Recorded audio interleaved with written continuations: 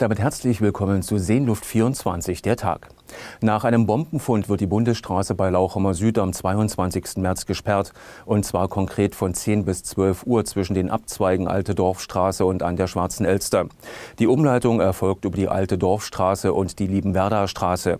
Am vergangenen Donnerstag wurde bei Feldarbeiten eine Granate aus dem Zweiten Weltkrieg entdeckt. Sie muss kontrolliert gesprengt werden. Evakuierungen seien nicht notwendig, schreibt die Stadt. In Brandenburg ist die Zahl der bestätigten Covid-19-Fälle von Montag auf Dienstag um 61 angestiegen.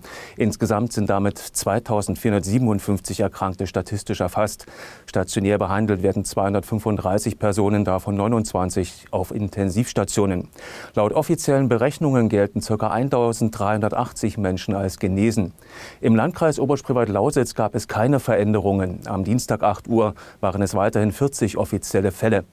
Der Senftenberger Tierpark öffnet wieder seine Türen. Besuchen können Sie die Anlage ab dem 22. April mit kleinen Einschränkungen. Ja, vorab, ich bin erstmal froh, dass die Bundesregierung darüber entschieden hat, dass wir den Tierpark öffnen dürfen.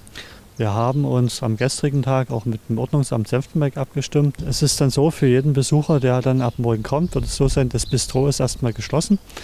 Ähm, das ist dann einfach so, wenn der Besucher hineintritt in den Tierpark, an den Kassenautomat geht, sind die Abstandsregeln zu achten, auf den 1,50 Meter Mindestabstand, dass dann die Besucher da wirklich darauf Wert legen. wenn sie in den Tierpark dann hineinkommen, werden die Spielplätze erstmal noch gesperrt sein ähm, bitte auch darauf achten, liebe Besucher, dass da nicht irgendwo unter den Bändern runtergeklettert wird und die Spielplätze benutzt werden, weil es einfach die Sicherheit ist hier viel, viel wichtiger. Wir werden im Tierpark dann auch ein Wegeleitsystem haben, dass die Besucher auch während des Besuchs die 1,50 Meter Abstand halten. Und äh, mehr ist erstmal nicht zu beachten. Geöffnet ist derzeit montags bis freitags von 9 bis 17 und an den Wochenenden und Feiertagen von 9 bis 18 Uhr. Für die Wilhelm-Külz-Straße in Lauchhammer Ost hat das Landesbergamt Brandenburg eine Allgemeinverfügung bekannt gegeben. Sie wurde am Dienstag auch auf der Homepage des Amtes veröffentlicht. Die Verfügung diene der Gefahrenabwehr und enthält verschiedene Nutzungseinschränkungen. Genannt werden beispielsweise Gewichtsbeschränkungen für Fahrzeuge.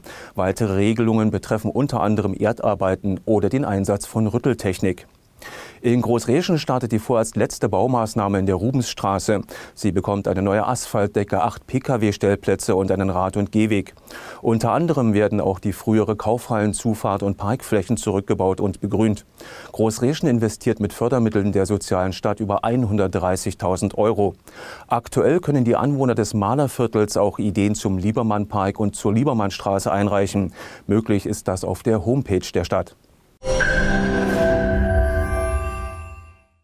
Großreschens Sozialdemokraten haben ihre traditionelle Mai-Radtour abgesagt. Das teilt der Landtagsabgeordnete Wolfgang Reuk mit. Gleichzeitig freut er sich auf ein Wiedersehen 2021. Der Flugplatz Welzow hat die Tage der Luftfahrt und des historischen Motorsports verschoben.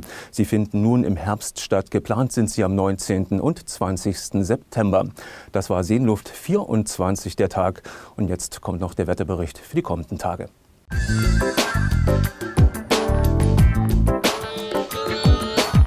Das Wetter wird Ihnen präsentiert von den Stadtwerken Senftenberg, Ihrem Partner für Gas, Strom und Fernwärme.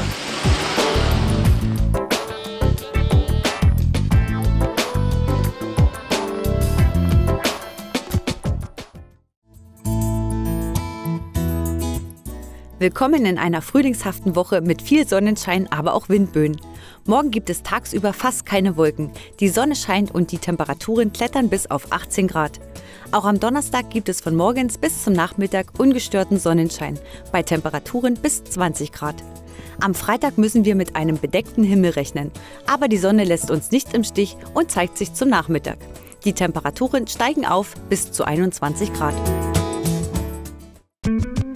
Das Wetter wurde Ihnen präsentiert von den Stadtwerken Senftenberg, Ihrem Partner für Energie.